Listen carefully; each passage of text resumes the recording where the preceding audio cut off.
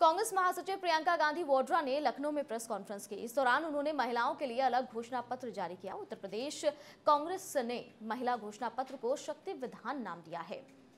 कांग्रेस ने अपने इस घोषणा पत्र में महिलाओं के लिए रोज़गार, सुरक्षा और सम्मान पर फोकस किया। बता दें कि आगामी चुनाव को लेकर कांग्रेस भी सत्ता पर आसीन होने के लिए हर संभव कोशिश कर रही है और इस बार प्रियंका ने अपना चुनावी दाव महिलाओं पर खेला है और अपने घोषणा पत्र में उनके लिए कई अलग अलग महत्वपूर्ण घोषणाएँ भी की हुई हैं।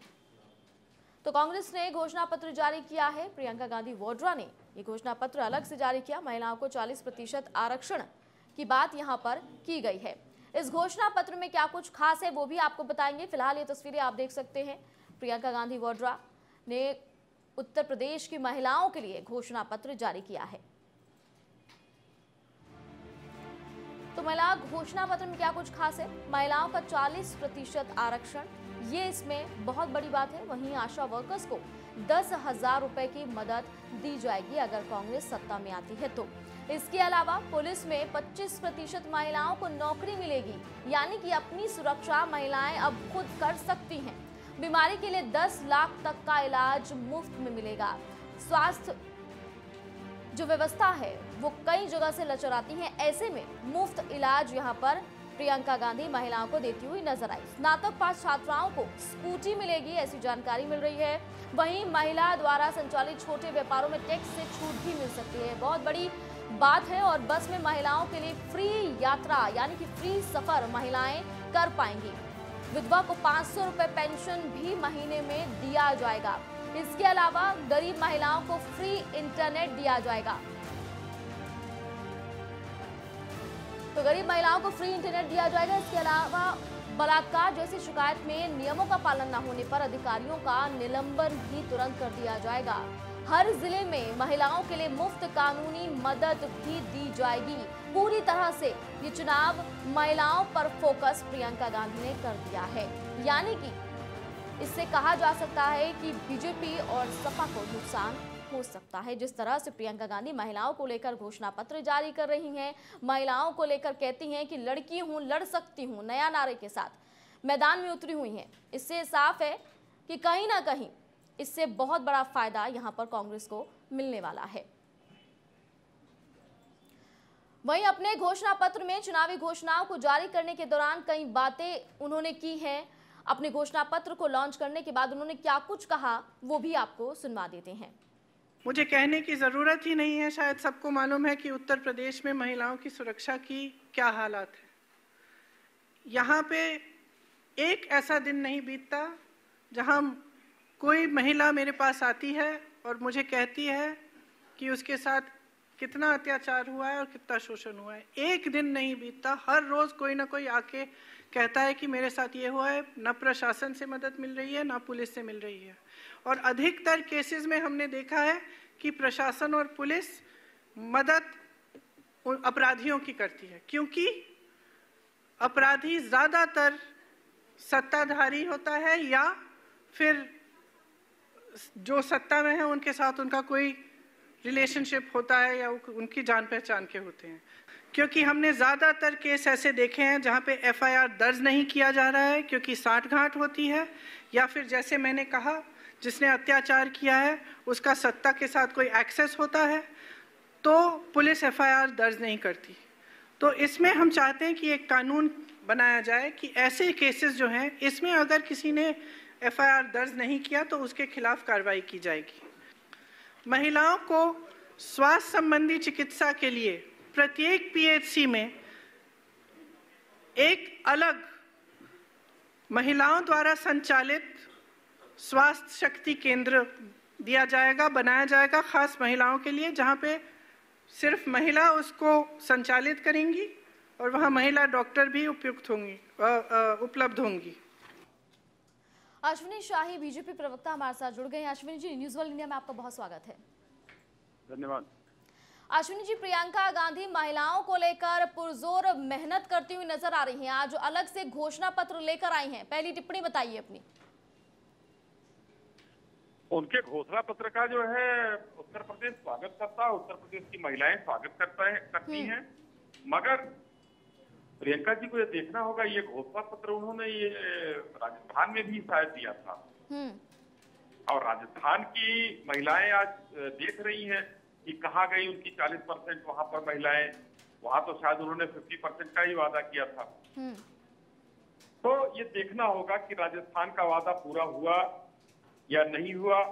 दूसरी बड़ी बात ये होगी कि यहाँ पर सबसे गठबंधन करके उन्होंने देख लिया और 6 परसेंट से ऊपर नहीं बढ़ पाई है उनकी पार्टी तो क्या उनको 160 कैंड- महिला कैंडिडेट मिल जाएँगी? ये बहुत बड़ी चीज़ है। बाकी लोक लुभावन नारे तो कांग्रेस बहुत देती है। हम्म। मतलब इससे बीजेपी को कोई असर नहीं पड़ने वाला है। चाहे वो महिलाओं के लिए बात करें, चाहे वो महिलाओं को आरक्षण दे, चाहे वो बालिकाओं को स्कूटी दे या फिर फ़ोन दे, इससे बीजेपी को कोई असर नहीं पड़ेगा।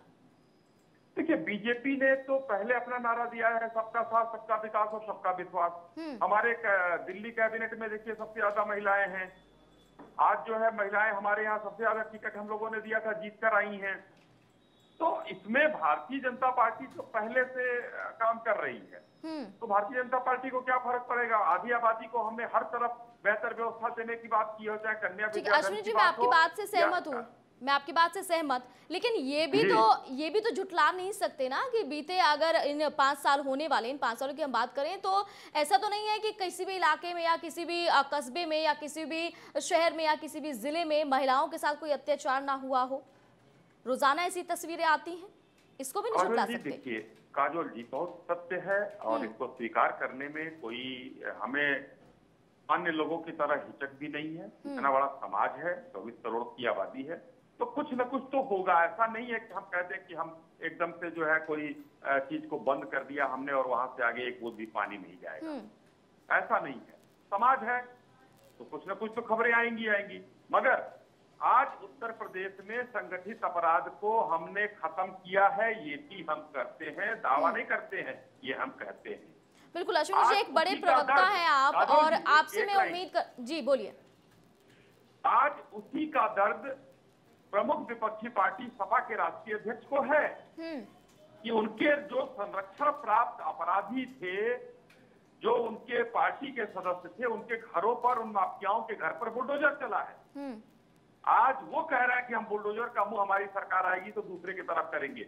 बदले की राजनीति वो करते हैं। ठीक है। अश्विनी जी संगठित अपराध को खत्म किया अश्विनी जी एक और चीज़ यहाँ मैं पूछना चाहूँगी आपसे क्योंकि आप सत्ता में हैं और क्योंकि आम जनता और खास करके महिलाओं की मैं बात करूँ तो आप लोगों से बहुत उम्मीद थी और आगे भी है उम्मीद बहुत ज़्यादा। देखिए, एक महिला होने के नाते मैं आपसे जानना चाह रही हूँ कि क्या महिलाओं के मामलों में भी राजनीति होनी चाहिए?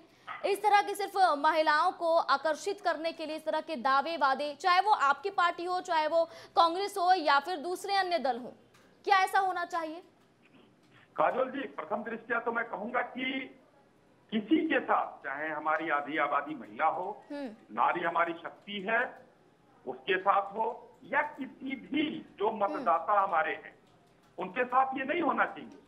अगर हो जो अस्पष्ट बोलिए हम्म। फ्री की स्कूटी अभी बहत्तर हज़ार छह हज़ार ठीक है अश्विन जी यहाँ रोकूँगी। अंशु अंशु अवस्थी भी हमारे साथ जुड़ गए हैं कांग्रेस प्रवक्ता हैं। Anshu ji news world India में आपका बहुत स्वागत करती हूँ। और सबसे पहला सवाल कि ये जो लगातार हम देख रहे हैं कि महिलाओं को लेकर प्रियंका गांधी बहुत बातें कर रही हैं बहुत वादे कर रही हैं। आज तो घोषणा पत्र भी अलग से जारी कर दिया है। दो दो घोषणा पत्र प्रियंका गांधी लेकर आ रही हैं। इतने सारे वादे पाँच सालों में पूरे हो जाएँगे अगर सत्ता में भी आते हैं तो?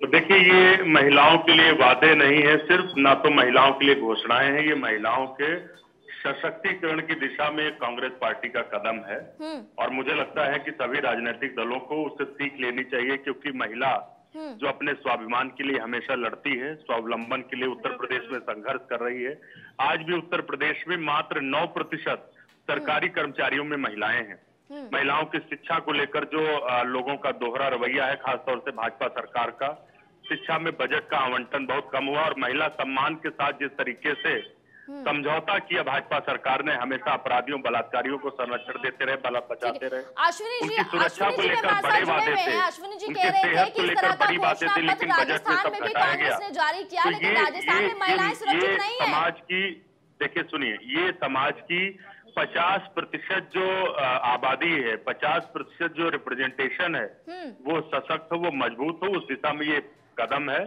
हम तो अनुरोध करते हैं भाजपा से भी सपा से भी बसपा से भी हम्म। कि वो महिलाओं को आगे बढ़ाएँ और उसके साथ बताएँ कि हम 40 कांग्रेस 40 प्रतिशत टिकट देने जा रही है। वो कितने प्रतिशत टिकट देंगे? ठीक है, ये ठीक सिर्फ़ बात टिकट।